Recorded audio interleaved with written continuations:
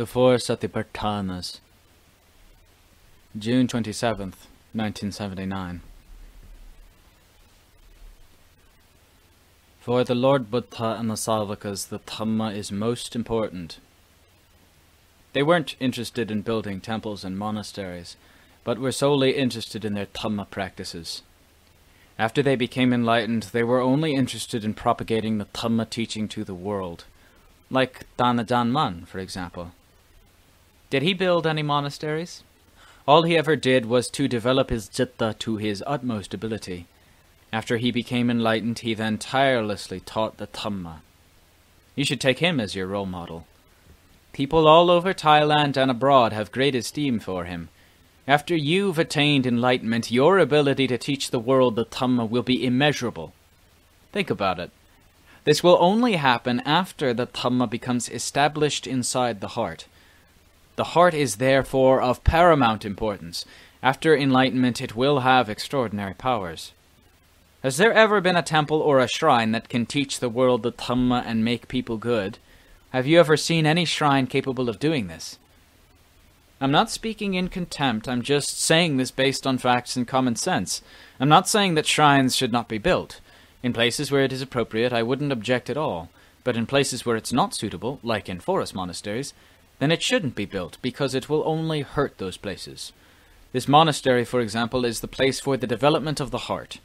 After you've achieved this goal, imagine the benefits you'll give the world. This monastery, for example, is the place for the development of the heart. After you've achieved this goal, imagine the benefits you'll give the world. I've carefully considered this point. Therefore, all of you who come here from the various parts of the country and the world, please be earnest and take this to heart. I always have compassion for you. That's why I have never let go of my responsibilities in teaching you. Although I may not always have the time to teach the laity, I always find the time to teach you. After you become enlightened, you can then help the world by propagating the Dhamma, which will happen naturally. When you have the treasure of the Dhamma, then you can share it. But to share something you don't have is pure delusion. To teach the Dhamma when you haven't yet become enlightened is counterproductive. You'll do more harm than good. The Lord Buddha and the Savakas didn't do it this way. They became enlightened first before they taught the Dhamma. If they hadn't yet realized the Dhamma, what could they teach? There's no truth in empty winds, no substance with which to attract people's attention, and no basis for others to depend on. But when we have established the Dhamma within our hearts, our teachings will become very invaluable, this is the benefit of developing the citta, so please become more determined. Be serious and earnest in your practice. Don't speculate about the magga, phala, and nibbana to be in various places other than in the body and the citta, for they are found right in these two places which make up the five khandhas. Take this to heart. When the forms, sounds, smells, tastes, and tactile objects contact the heart, they will entrap it with love and hate. It's therefore imperative to investigate them with panya until the heart has understood their true nature and let go of them and retreated inward. Panya will constantly feed the heart with the right information to prevent the heart from being confused, anxious, or worried. When it's time to develop samadhi, it'll be easily achieved. The heart will be cool and calm. You must solve your problems with panya when it's appropriate to do so. Don't be idle. Panya is extremely important, whilst Sati is the workhorse that directs your practice and keeps you mindful and attentive, and enables Panya to investigate at its fullest. When you've seen the results of your investigations with Panya, you'll become encouraged to intensify your investigation further. This is similar to a businessman who has made a profit. He will be encouraged to work harder, but if he keeps losing, then he'll become discouraged and lazy. It is the same way with the development of the heart. When you've gained some results and progressed, you'll be encouraged to intensify your efforts. Don't remain idle like a tree stump, lacking appreciation for the Dhamma. Don't get involved with worldly matters because they are all devised by the Kilesas to oppress, depress, and delude the Chitta, causing it to be totally ignorant of the truth and Dhamma. When you walk or sit in meditation, you only do it with your body, not with your Chitta, because it's involved with worldly matters, with the forms, sounds, smells, tastes, and tactile objects, with the past and with the future, which cause it to be restless and agitated. How then can you profit from your practice? When you're not profiting but losing, you'll become discouraged and lazy. This laziness is created by you, and it's you who has to pay for it with dukkha that devours your hearts in every form of existence. This is the fruit of laziness, so you must see its harm. You must use your satipanya to devise a way to overcome your laziness. This is the way of a wise man. Developing yourself is much more important than developing anything else. Whether it is hard or easy, it's not beyond your abilities the Lord Buddha taught the 84,000 Dhamma discourses to suit our temperaments and abilities. They can be summarized into three categories, namely Sila, Samadhi, and Banya. So they aren't really that many and involve just the body and the citta. Why can't you develop them? When you do walking meditation or jankama, you should have continuous mindfulness. It is the same way when you do sitting meditation or samadhi. You're your own master when you practice diligently. You mustn't think that mastering yourself is a thorn and doing what you like is a good thing, but this is the kilesas whispering to your heart to lead you astray. If you see practicing diligently as your adversary and see the kilesas as your friends, then you might as well be dead, because you'll repeatedly be born and die again and again. Therefore, you must really be earnest, really commit yourself. The practice environment in this monastery is fairly suitable, though not quite like that in the time of the Lord Buddha, when they were mainly forests and mountains. But there are quite enough forested areas here. I am trying my best to help you in all respects because I really consider your welfare. I can tell people who come to this monastery, regardless of their social status, not to disturb your practices. I am not afraid of anybody. I'm only afraid of contradicting the Dhamma, I have more respect for the Dhamma than for anyone else. When it's time to speak the truth, I will do so. I can tell them not to disturb you because you're meditating. Don't bother them, I will tell them. They're practicing. If they see you coming, they'll have to move somewhere else. You'll disturb them. I will also tell them when it is the proper time to see you. If they are disappointed or dismayed, that's not my concern, because speaking the truth should be the norm. There is nothing wrong with that. If it's wrong, it's because they're thinking wrongly. They don't know that it's essential to have privacy during practice. If sitting meditation is hard on your body, or if you're not engaged in any physical activity, then you should do a lot of walking meditation instead. At the same time, you should also develop your mindfulness because your practice depends significantly on it. In your investigation, you should consider your body as well as other people's bodies, both male and female, to see their true nature because this is the way of developing satipanya, mindfulness, and wisdom. Magga can be developed by investigating internal and external objects, because samudaya, the cause of dukkha, is created by clinging to both of them. Attachment to forms, sounds, smells, tastes, and tactile objects, which are outside the heart, is a form of samudaya that arises when you become attached to this or that person, this or that thing. You must therefore develop Satipanya to eliminate this attachment, because Satipanya is the Magga, the path to the cessation of dukkha. You can investigate anybody's body, male or female, because they can all be the object of your investigation. You must investigate by using the Dhamma teaching as your guide. For instance, investigating to see the loathsome nature or asubha of the body, to see its filthiness or patikula, to see it as a cemetery, and to see it as anittang, dukkhang, and anatta, because they are the truth. You can investigate either your body or someone else's body. You must always fight the kilesas, because they've always been your enemy and are inside your hearts. Most of the time, it's the kilesas that have the upper hand, and you don't even know this. How can you not know when you're knocked out by your opponent? If you do, you'll be spurred into developing your satipanya, saddha, and virya to fight and eventually destroy all the kilesas. This is the way of a fighter. If you fight like mad with all your might, you'll eventually win. If you don't fight, you'll never achieve any result from your sitting or walking meditation, such as calm or insight, to encourage you to strive harder.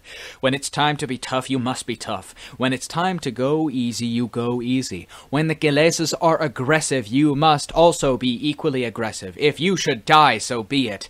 I myself had been in this situation. I am not speaking without anything to back up what I say. When it's time to let it all out, I really let it all out. When this happens, I can assure you you that you'll achieve results and destroy the Kilesas. You have to investigate using your own devices because each practitioner has a different temperament and ability.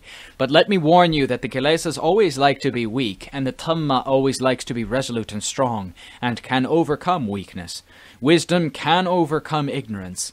It is the Kilesas that make you ignorant, but the Kilesas themselves are not ignorant. In fact, they're very clever.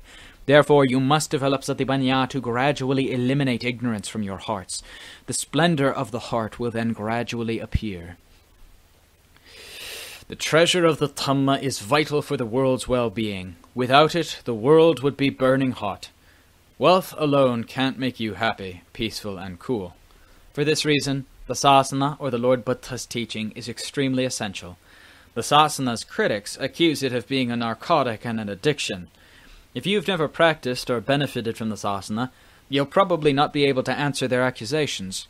They criticize the bhikkhus for doing nothing, but they never find fault with the pots and pans for not plowing the rice fields, because they are cooking utensils, not plows, and perform different functions. A battery charger is for charging batteries. The sasana is for charging your courage and uplifting your spirits. This is the purpose of the sasana. If a sick person doesn't seek help from a physician, how can he get well? He can only become a corpse. Think about it. Patients need physicians and medicine. If they think relying on physicians and medicines is harmful or addictive, then they will surely die. It's the same with people who are afflicted with the kilesas. They are mentally ill. They can't tell right from wrong, good from bad. They need the sasana to tell them and cure them of their illness. Greed, hate, and delusion are mankind's deadliest threat. If left unchecked, they will tear the world apart. If you use the sasana to subdue and eliminate them, what harm can this do? How can the sasana be harmful or addictive when it makes people good and the world peaceful? How can medicine and physicians be harmful and addictive to patients? Narcotic drugs will destroy you, but the sasana, physicians, and medicine won't. Only the dead don't have to rely on anything, but the living still do. They have to rely on medical professionals for their physical well being, and the sasana or the Dhamma teaching for their mental health. Cars need roads to get to their destinations. Patients need physicians and medicines to get well. Whether this is an addiction or not is irrelevant. To accuse the sasana of being a narcotic drug is just dirt that comes out of dirty mouths and dirty minds. Common sense will tell you that when you're sick, you need physicians and medicine to make you well. It's the same with the Chitta. When it's still afflicted with the Kilesas, Tanha, and Asava, then it has to rely on the Dhamma teaching to show it how to remove them. When it has finally removed them, it'll transcend both good and evil, and won't need the Dhamma teaching any more. It's like walking up the stairway to this sala or building. As soon as you reach it, the stairway becomes irrelevant. You don't cling to the stairway. The sasana doesn't teach you to cling. When you're cured from your illness, you won't need your doctor and medicine anymore. It's the same with the chitta. When it is fully developed, it will no longer need the sasana and will let go of it naturally. Right now, you must exert yourself to the full. Use your satipanya to help the chitta eliminate the kilesas. It's the kilesas that are the addiction, but the critics don't say this. If the Dhamma helps you remove the kilesas, how can it be harmful? It's the kilesas themselves that are harmful and have been for aeons and countless existences. But you don't know this. It's very hard to find someone who's really sick of the kilesas to the point of ditching them. They've attached themselves to the heart and are completely hidden from view. Why doesn't anybody criticize them for doing this? It's only fair that the kilesas should also be criticized. You should think sensibly and fairly. Mindfulness is extremely important, and you mustn't be without it. You should devise different techniques to entice the citta to practice. Then your mindfulness will become continuous. For example, you can try a different mantra or a new method of practice. Then you're really developing your satipanya. I also practiced in this way. You have to apply satipanya in your investigation of the body, your own body, and other people's bodies, until you can clearly see the body's true nature. In the Satipatthana Sutta, or the Four Foundations of Mindfulness Discourse, the Lord Buddha said that you should alternatively investigate the internal and external body and then compare them. This is the way of developing the Magga or the path and the correct way of investigation. It's the same way with the investigation of the inner and the outer Vedana or feelings. Actually, the outer Vedana here isn't about other people's feelings, but about the bodily or physical feelings, whilst the inner Vedana is about the mental feelings. I've gained this insight from my practice, and I'm profoundly convinced of this. But I do not deny that the outer Vedana can also refer to other people's feelings. But this is very far from the four Satipatthana that are within you. If the inner and outer Vedana are not in the body and the Chitta, where else could they be? Then the four Satipatthana would not be complete. But truly the four Satipatthana are complete in each individual, so you can see them vividly and clearly if you investigate them. Dukkha, Samudaya, Nirodha, and Magga are also in the body and Chitta. When you're absolutely convinced that they're in yourselves, it doesn't hurt if you compare them with those of other people. You can investigate any way you like, but your findings mustn't contradict the truth or the Dhamma. The Lord Buddha taught you to be wise, not stupid. What's essential here is for you to practice until the kilesas disappear from your hearts by the power of your satipanya. This happened with my investigation of asubha, or the loathsomeness of the body. When I got myself really involved with this investigation, I became so disillusioned with the body that I burst into tears.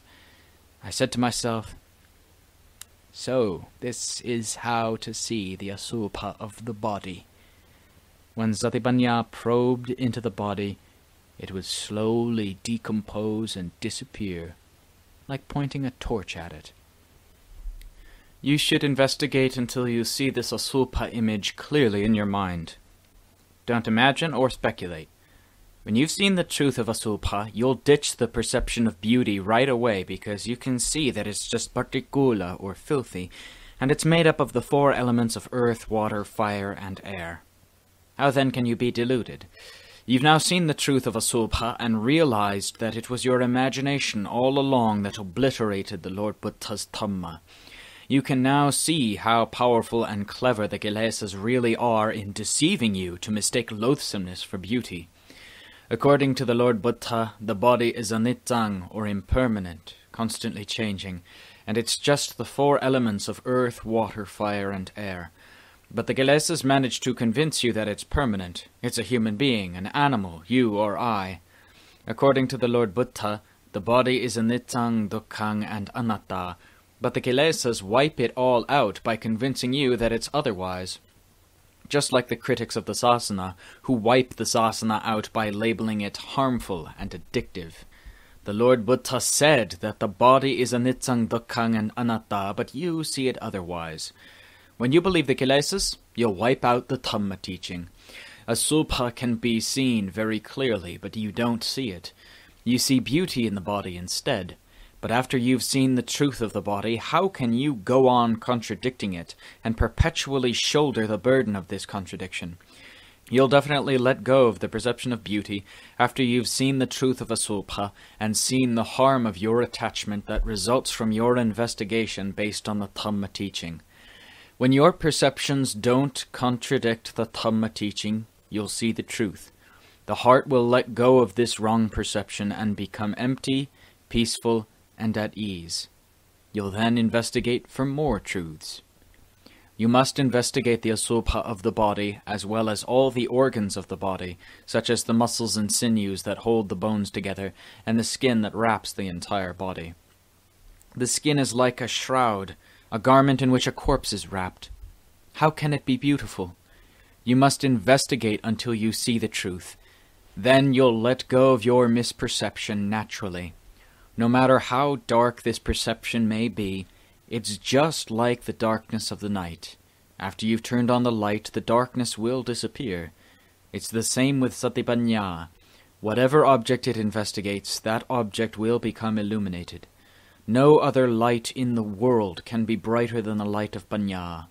The light of the sun can't pass through opaque objects, but the light of Panya can penetrate through every object. One who has this light of Panya is called Lokavidu, the knower of the cosmos. All the truths that you've realized with Panya and are firmly established within your heart are similar in nature. They are all anitsang, dukkhang, and anatta. You should choose the method of investigation that suits your temperament. If you enjoy investigating the asubha of the body, then you should concentrate on this investigation until you truly see the loathsome and filthy sides of the body. You'll definitely see the truth and discard your delusion if you're not lazy and don't let the kilesas lull you to sleep. The reason why you're still attached to this body is because you're still deluded and think that the body is I and mine, that the body is an animal or a human being. You then become attached to the body and brush aside the Dhamma teaching. But after you've investigated with Banya and realized the truth of the body, then your delusion and attachment will disappear. You'll leave the body alone. Then you'll be an devoid of any sorrow because you've completely severed your attachment to the body. You'll become blissful, light, and at ease, and feel like a businessman who has made a lot of money and become very rich. Next, you must investigate Vedana, or feelings. The Lord Buddha said that they're merely feelings that appear and disappear. They can be good, bad, or neither good nor bad feelings of either the body or the mind. How can there be a human being, an animal, you, or I in them? After you've investigated them using Banya, you'll see that they are merely mental objects or phenomena. As far as sanya or perception is concerned, it's the most subtle of the five khandhas. It'll quietly create mental images to fool you. On the other hand, sankhara or the thought process will stir before it begins to think. You can distinctly feel this stirring, but with sanya there's no stirring at all. It'll create images to deceive you long before you realize it. The citta is continually deluded by these five khandhas. They deceive it with sammuti or relative truths that are created by sanya and sankhara. With the power of banya, you'll discover that you've been deluded all along.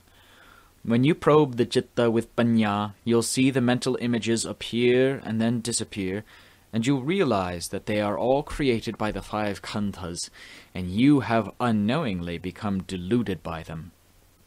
These images are not real. The citta is deceived by the five khandhas. It has taken whatever the five khandhas conjured up as the objects of its pleasure and sorrow for aeons. Regarding vijnana, or sense awareness, it flicks on and off. It flicks on to acknowledge the sense data and ideas as they occur, and flicks off when they disappear, similar to a lightning flash or the light of the firefly. When you've developed satipanya by continuously investigating the activities of the kilesas, you'll become distrustful of the five khandhas and want to know their true nature. You'll then earnestly investigate them and will eventually realize the truth. Then you'll know that they are merely physical and mental phenomena. Actually, whether you realize this or not, they still are what they are, but due to your delusion and desires, you mistake them to be something else. These desires are samudaya, the cause of dukkha, and originate from the citta. Now, as Satipanya advances with its probe, the scope of the investigation becomes narrower as Satipanya understands more and more and eventually converges on the citta. Whatever now appears, you'll know that it comes out of the citta, not from sanya or sankhara, because Satipanya is now capable of differentiating them. As soon as the citta produces them, they will immediately disappear, just like the light of a firefly. Once Satipanya has caught up with the citta, it can't go on creating them. When Satipanya is always watching, they can only appear and disappear. Satipanya will now put forth an all-out effort in waging the final battle. All that is left now is avidya, both avidya and the citta have become one and the same thing as they are blended together. If you are possessive of the citta, you'll also be possessive of avidya. If you cherish the citta, you'll also cherish avidya. If you're attached to the citta, you'll also be attached to avidya. If you blindly believe the citta, you'll also blindly believe avidya. For both the citta and avidya are together. Satipanya will now keep on advancing with its probe because it's the only thing it can do. Retreating is not possible.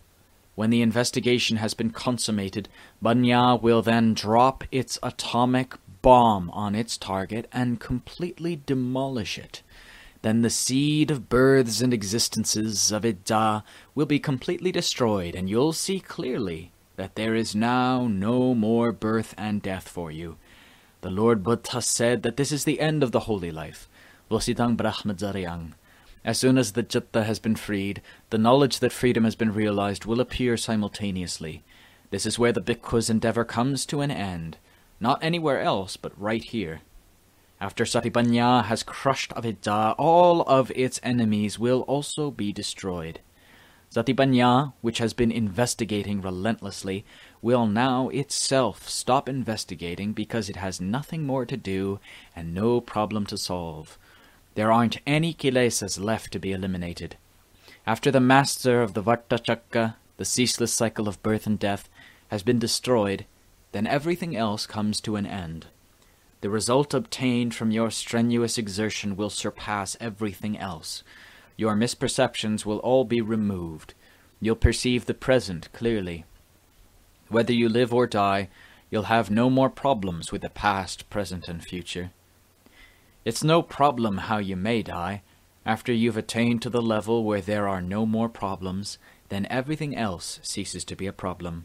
So there is no problem for an arahant when he passes away. An arahant can pass away in any posture, either standing, sitting, walking, or lying down. He can pass away in any position of his choosing, just like what Danadan Mun had said in his biography. And what's the reason for this? It's because the dukkha vedana which is sammuti, can't enter the citta to cause any more trouble. So, why couldn't an arahant pass away in any position that he sees fit, when he has already transcended sammuti?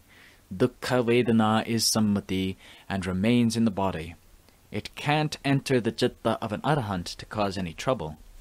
So, there is no reason why an arahant, for his last act, can't pass away in any position that he finds appropriate.